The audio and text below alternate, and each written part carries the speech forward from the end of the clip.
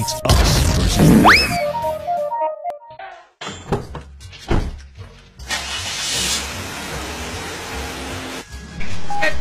being a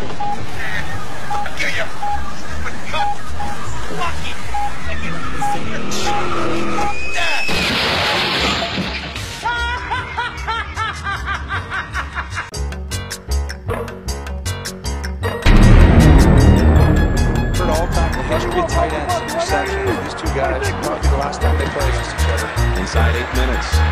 Prescott on the run. Ertz in and he's back. The angle for King. King's got a blocker in front of Ingram and he's going to take it the distance. You ain't nothing. You ain't nothing. You ain't no superhero.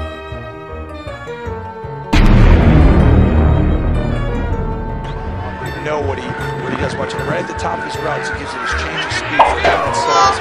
Oh, they pick him off again. This time diving pick by Hayward. Oh, and he just throws right into the coverage. You're a dumbass.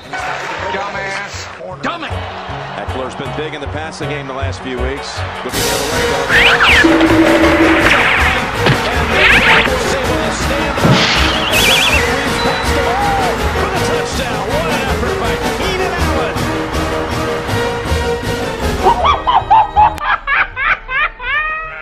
Like you feel more pressure that since you're the quarterback, you've got to take on more responsibility? I mean, sure. I mean, yeah, I, I take more, I guess, responsibility in a loss like this. I mean, when the offense is in a funk, I mean, I'm the, the leader of the unit or whatever, whenever you, uh, as you as you say, and I've got to figure out what I've got to do to, to get that whole unit rolling better and, and consistently. You don't have bad luck.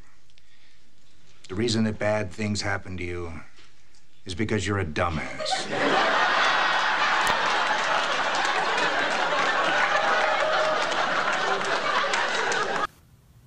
And now the Dallas Cowboys are exactly where they belong, making headlines for everything other than winning.